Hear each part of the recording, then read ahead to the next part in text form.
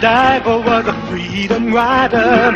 She didn't care if the whole world looked. Joan of Arc with the Lord to guide her. She was a sister who really cooked. Isadora was the first bra burner. Angel that she showed up. Oh, yeah. And when the country was falling apart, Betsy Ross got it all sold up. And then there's Maude. Then there's Maude, And then. And then there's Maude, And then there's Maude. and then there's And Maude. then there's That uncompromising, enterprising, anything but tranquilizing. Right on, Maude. Señores, señoras, buenas noches. Buenas noches. Por favor, tres margaritas. Tres. Ah, three margaritas. Understood me. Now, come on, everybody. Let's just relax and have a wonderful dinner on our last night. Yes, And maybe on the way back to the hotel, we could go through the red light district. Vivian! oh, Arthur. I want to go see the floozies. Vivian, have you ever actually seen one? No, no, but I understand they wear an awful lot of eyeshadow oh. and sometimes boots. Oh, wouldn't you just love to talk to one of them for five minutes? I wouldn't know what to ask first. You know what I've always wanted to know? What? This is disgusting. Shackles.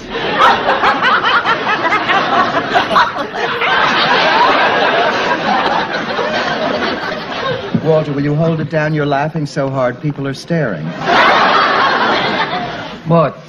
Maybe I should tell the maitre d' who I am. Uh, I mean, I told him at the hotel to get in touch with me here in case Gordon calls. Look, Gordon Coleman is the best lawyer in the business. Now, Walter, you hired him to look after your new store and the bank loan. He can certainly handle anything that goes wrong. Wrong. What went wrong? Oh, Walter, will you stop? Now, besides, honey, tonight is a celebration. Tomorrow, when we get home, you're going to be named Tuckahoe Businessman of the Year. For the second year in a row.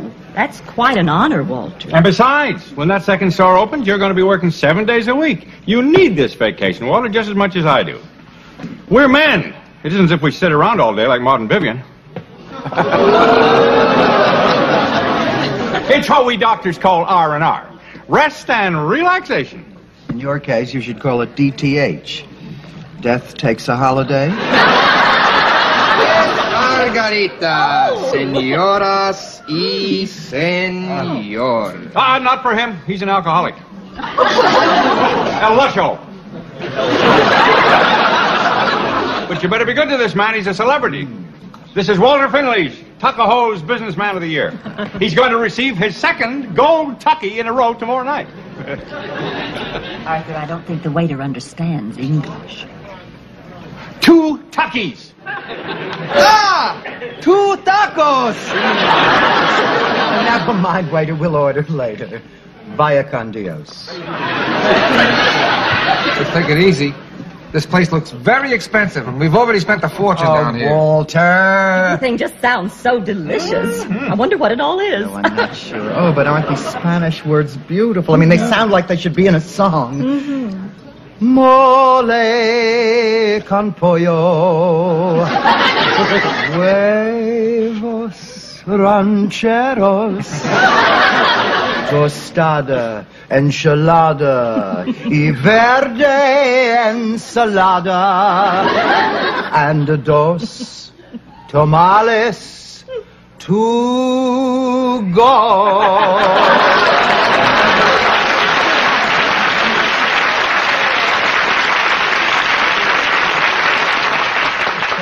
Thank you very much. Maybe tomorrow on the way to the airport, I'll sing a few billboards for you. Excuse me, senora. Are you an American vocalist? Oh, Oh, well, no, not, not really. Although I was once mistaken for Olivia Newton-John. Well, perhaps you would honor us with a song. oh, do, Maude. Oh, on, Lottie, sing a little song. I, I really couldn't. I'm, I'm sorry, but mucho gracias.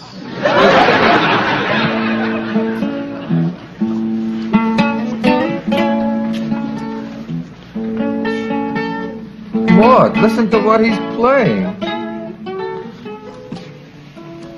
I don't believe it. Spanish Eyes. Walter, our song. you remember. How could I forget? That's what we heard when we first met. Oh. Walter, they were playing it on that radio you sold me.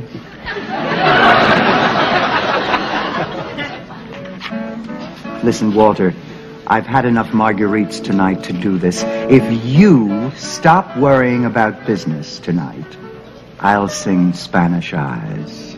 Oh, Do you really know how to get to a guy, Maude.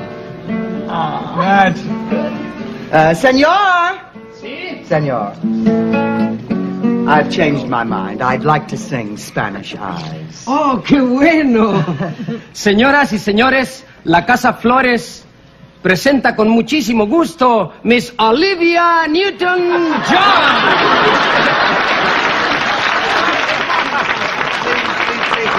She's at least five years younger than I am. oh, Walter. Just you and me and a soft guitar.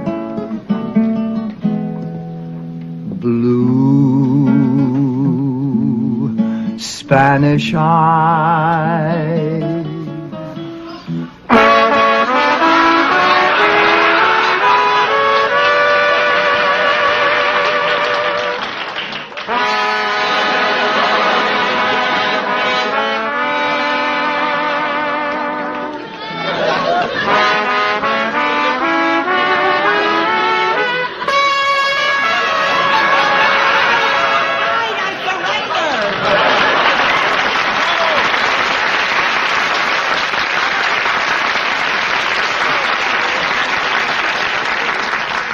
So much for romance. Oh. Wait, what, what's this? We haven't even ordered yet. Mole con pollo, huevos ranchero, tostada, enchilada y verde ensalada, and dos tamales to go.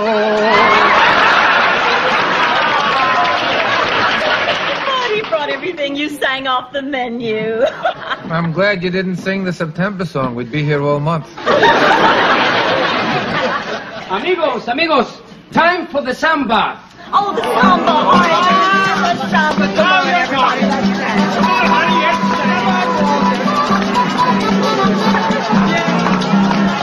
Oh, honey, isn't this fun? Señor Findlay. Comunicación from your hotel. Communication from your hotel. Communication from your hotel. A message from my hotel.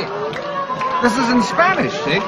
Uh, El Senor Gordon Coleman alamado al teléfono. Mr. Gordon Coleman, telephone? Sí, sí. Ah, uh, el Banco Reusa a darle un préstamo. What's el banco? El, ba- el banco, el banco, el banco.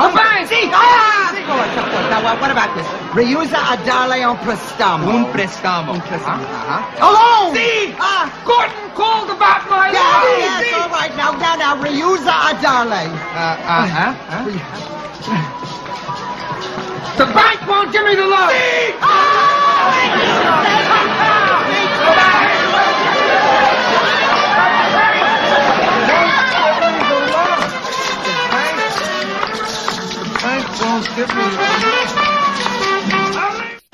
For crying out loud, Shirley, where is Gordon? He's upstairs getting dressed. He's putting on his tuxedo because this is such an important night for you, Walter. You big businessman of the year, you. Shirley, will you please tell Gordon to get down Oh, here? he'll be along, he'll be along. Just imagine, yesterday you two were down in sunny Acapulco, and today you're back home in Tuckahoe. Isn't that amazing? Isn't it simply incredible? No. Gordon wants us to take a trip to Mexico, but I don't know. Seems like such a long way to go just to see foreign people. Especially when New York's just 20 minutes away. I'll go tell Gordon you're here. You double tucky winner, you. You know, for a nice person, Shirley really bugs the hell out of me. Gordon, will you get down here? Walter. Maude, when I phoned Gordon after we got home this afternoon, he said the situation was very serious. Oh, come on. Walter, will you relax? You know how Gordon always exaggerates. How can I open up the new store without that $50,000 loan? Most of the money is spent already. Walter. I never should have let you buy all those things in Acapulco. Walter, I bought one souvenir. A ceramic planter of a, of a little Mexican boy with a cactus growing out of his burrow. I only bought that one because I knew nobody else had one. Maude! Oh, you look ravishing. Never mind that, Gordon. What about the loan? Walter, be patient. Gordon is our friend. We haven't seen him in a week. You know, I was in Acapulco once. It was during the war. And oh. what about the loan? Oh, yes. Well, actually, it's very simple. Oh, it's getting late. I'd better get started. You see, your cash flow has retreated from a preferred position in the face of unrealized collection capabilities. That placed your reserve factor in a vulnerable phase which caused the bank to realign its stance on your promissory note commitments. Uh-huh. Please, Gordon, in English, in English. Oh, yes, all right. In plain English, your liquidity situation has been locked into a negative level. Walter, your liquidity situation has been locked into a negative level. Thank you. What does that mean? I haven't the foggiest. What it means is that uh, you owe a lot of money. Times are tight. All of a sudden, a lot of your customers started defaulting on their payments. With all the expenses of the new store, it was just too much. Gordon, how much money do we owe? Oh, I'm not sure. Oh, come on, Gordon. You've been managing my finances for years. Yes, I know, but I'm not too good with figures. I'd say roughly $20,000. Gordon, we owe $20,000. Where am I going to find $20,000? Lord, why don't you leave these boys alone? Come upstairs with me and help me pick out a pair of earrings. I can't decide which ones to wear. How would you like to buy mine? Shirley, honey, we're trying to talk business. Oh, business, business, business. Come on, Maude. No, I don't think Come so. Come on, let's go upstairs and have some giggles. Shirley, we just found out we are $20,000 in debt. We have no idea where we're going to get the money. Can you understand that? Well, I'm glad we're not going to be at your table tonight. You're not going to be any fun at all. I'm terribly sorry if Shirley seemed insensitive. She doesn't really understand these things. We're rich. More.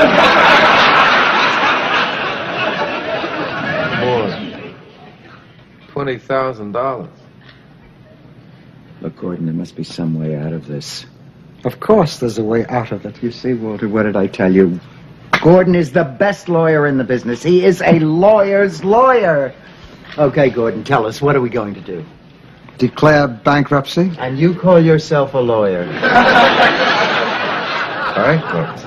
Sure. We'll protect your house and your personal savings, pay off your business debts at 10 cents on the dollar, and you're home free. 25 years down the drain. Oh, Walter, I know how you feel, but believe me, this is no big deal. I've handled dozens of cases just like yours. Big businessmen who have lost their business. They all landed on their feet again. Stu Dempsey, Mel Bates. Landed on their feet again? Stu Dempsey's a parking lot attendant. Mel Bates died without a penny. Really? Well, I don't keep in touch with those guys much anymore. Stu Dempsey is a parking lot attendant? Gordon, isn't there anything else we can do? No, I'm sorry. I think a form of bankruptcy is the only way to go. And you mean all those people who trusted me, depended upon me? I'm going to stick them for $20,000. Well, yes. And you say it's okay? I say it's legal. It's business. It's the American way. Look, why don't we have lunch tomorrow and we'll start the bankruptcy proceedings? I'd better finish up getting dressed. And hey, don't let this spoil your evening. I'm glad he's taking it so well. Lord, I'm sorry. You married a failure. A lousy failure. Oh, come on, Walter. It's not your fault. You're you're a victim of the economy. Do you know why I decided to open a new store? Because the chairman of the Federal Reserve went on television, and said the recession had bottomed out. Then the Secretary of the Treasury went on television and said that the economy had returned to normal. And then the President of the United States, the President, he went on television and said, we just started a period of vigorous economic growth. Now, you can't believe everything you hear. Come on, let's. Oh, no, Walter. No, no. We are going to that banquet. No. You are still Tuckahoe's Businessman of the Year. I'm not going to let you crawl into a hole because of this. Maude, do you know when I realized I was a success?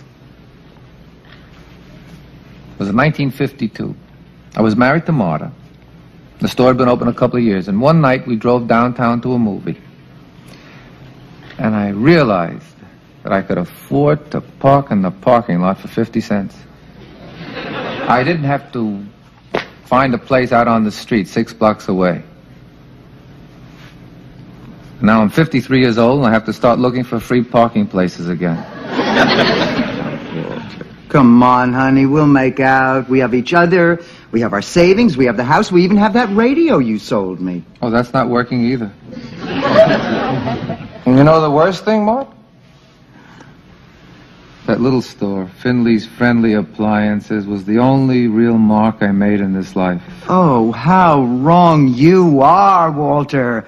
Your contribution is you. What are you talking about? I'm talking about a very special person, Walter. Walter Findlay. You treat everybody like a friend, no matter who they are. You make people feel good, and, honey, that's your contribution to the world, not the store. Sweetheart, you were something else. So are you. Bankrupt? Oh, Maude. It's true. I don't know what I'm going to do. Oh, Walter. Listen. I just want you to know that I happen to have some spare cash just sitting around the bank. About uh, $10,000. Thanks, Arthur, but I couldn't let you do it. Oh. Good. Come on, Bib, let's find our table.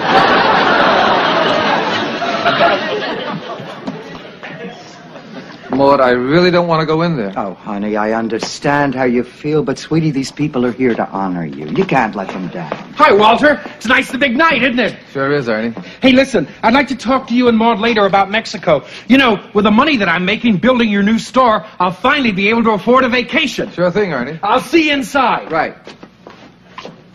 Did you hear that? Trip to Mexico. Wait till he finds out I'm paying him 10 cents on the dollar. Did You go to Spanish Harlem.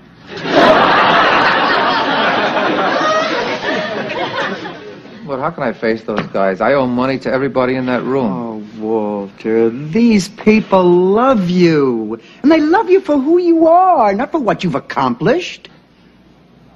That's true, isn't it? Well, of course it's true. Let's go in. Now, what can I say about our guest of honor tonight?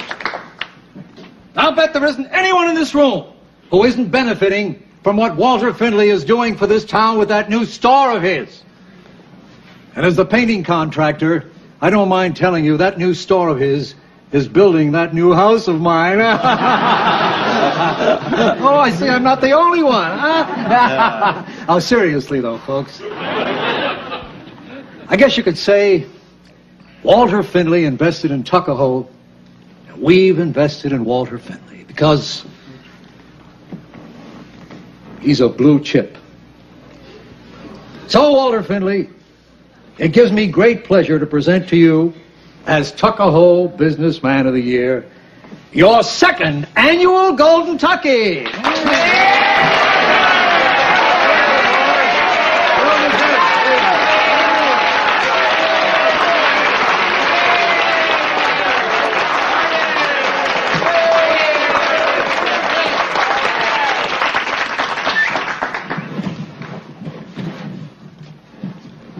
I'm honored.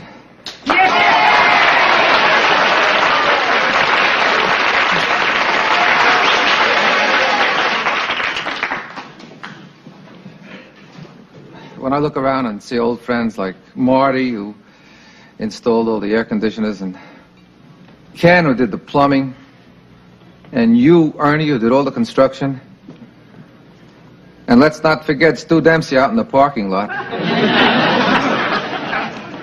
then I suddenly realized that what someone special told me just before I came in here is true.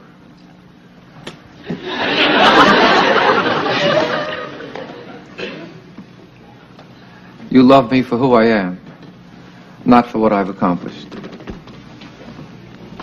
That store actually belongs to you. Because I can't pay you. now, seriously, right, Maude?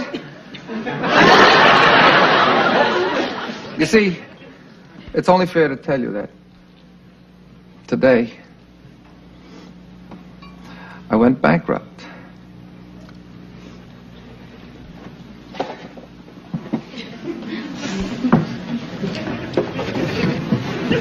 You creep! Why would you do a thing like this?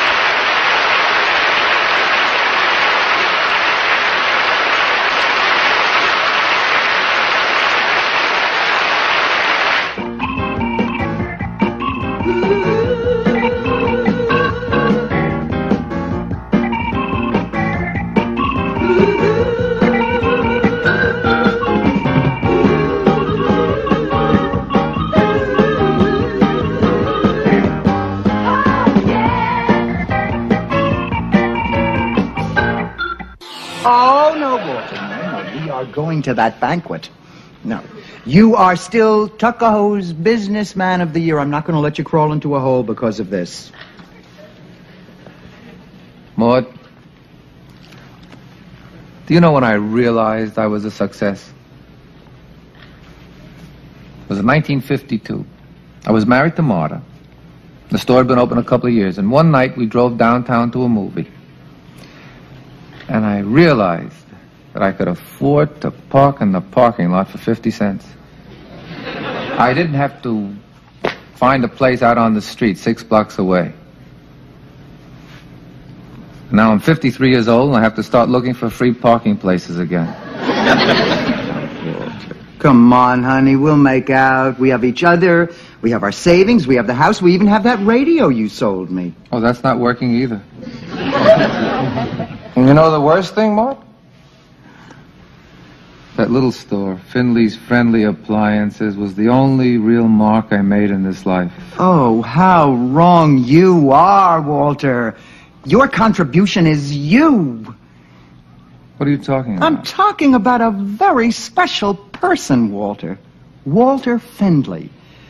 You treat everybody like a friend, no matter who they are. You make people feel good, and, honey, that's your contribution to the world, not the store.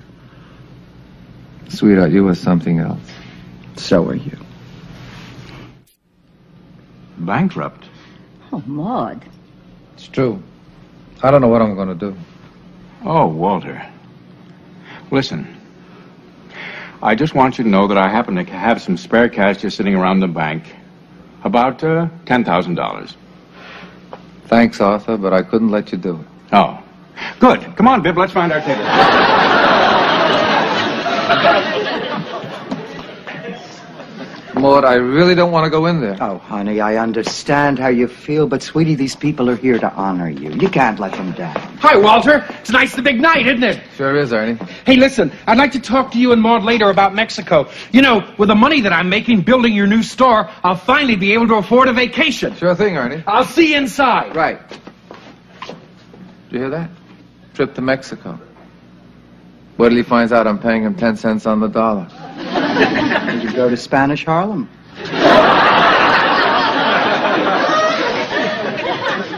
But how can I face those guys? I owe money to everybody in that room. Oh, Walter, these people love you. And they love you for who you are, not for what you've accomplished. That's true, isn't it? Well, of course it's true. Let's go in. Amazing, isn't it? Simply incredible. No. Gordon wants us to take a trip to Mexico, but I don't know. Seems like such a long way to go just to see foreign people.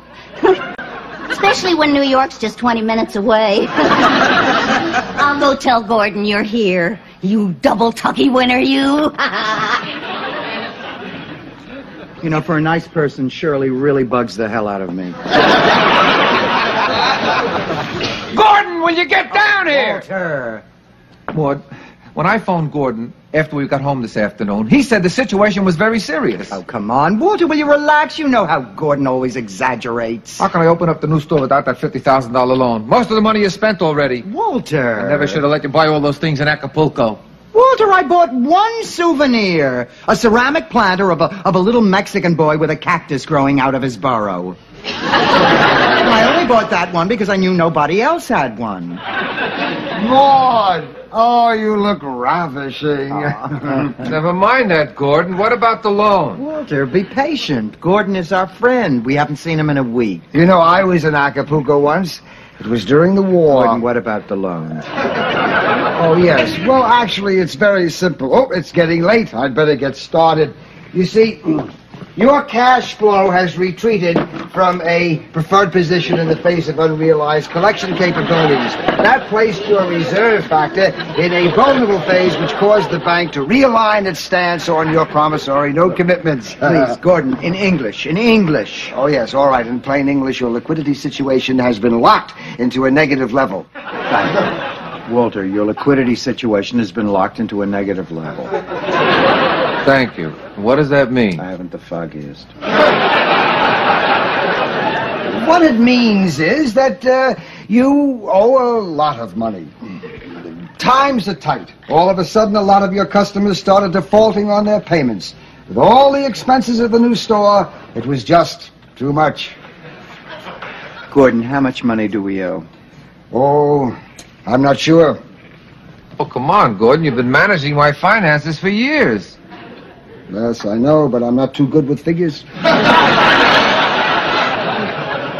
I'd say roughly $20,000. Gordon, we owe $20,000. Where am I going to find $20,000? Maude?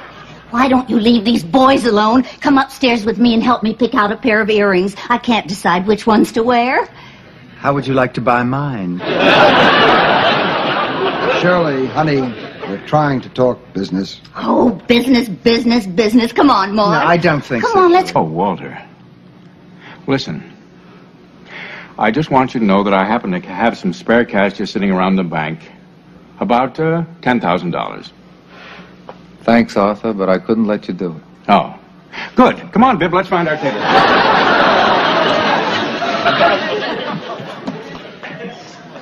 Maude, I really don't want to go in there. Oh, honey, I understand how you feel, but sweetie, these people are here to honor you. You can't let them down. Hi, Walter. Tonight's the big night, isn't it? Sure is, Ernie. Hey, listen, I'd like to talk to you and Maude later about Mexico. You know, with the money that I'm making building your new store, I'll finally be able to afford a vacation. Sure thing, Ernie. I'll see you inside. Right. Did you hear that? Trip to Mexico. Wait till he finds out I'm paying him 10 cents on the dollar. You could go to Spanish Harlem.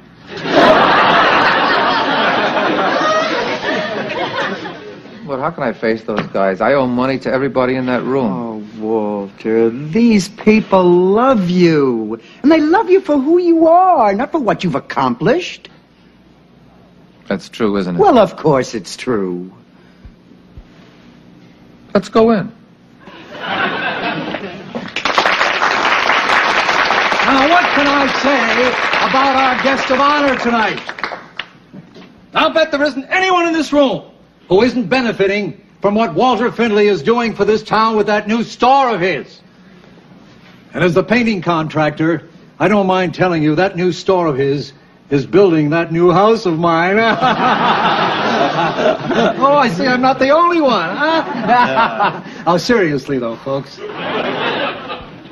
I guess you could say Walter Findlay invested in Tuckahoe, and we've invested in Walter Findlay because he's a blue chip. So, Walter Findlay, it gives me great pleasure to present to you, as Tuckahoe Businessman of the Year, your second annual Golden Tucky.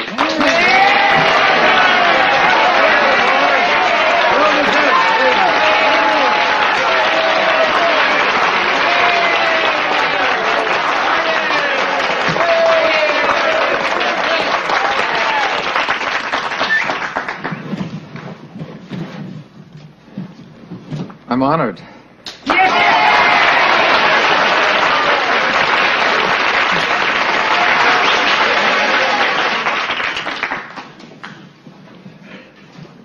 When I look around and see old friends like Marty, who installed all the air conditioners, and Ken, who did the plumbing, and you, Ernie, who did all the construction, and let's not forget Stu Dempsey out in the parking lot.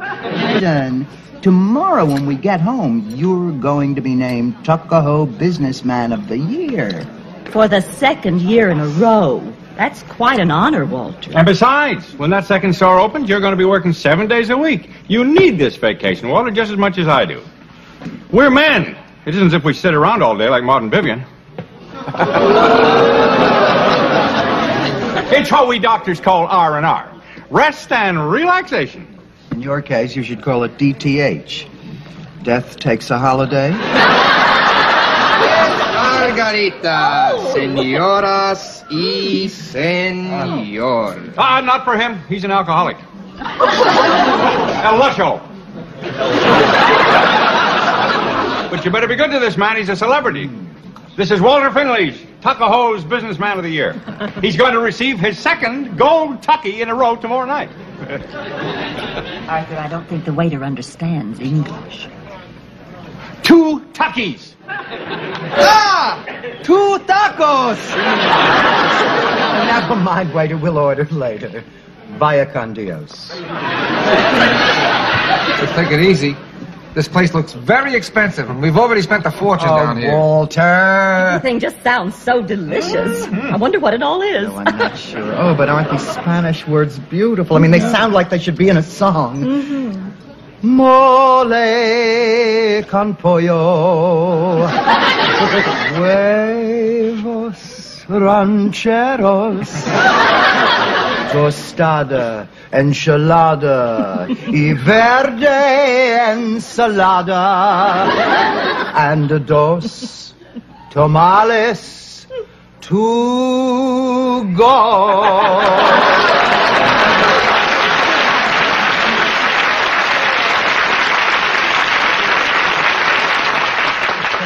Thank you very much. Maybe tomorrow on the way to the airport, I'll sing a few billboards for you. Excuse me, senora. Are you an American vocalist? Oh? Oh, well, no, not, not really. Although I was once mistaken for Olivia Newton-John. Well, perhaps you would honor us with a song. Oh, do, Mark. Oh, Come on, Marty, sing a little I, song. I really couldn't. I'm, I'm sorry, but oh. mucho gracias.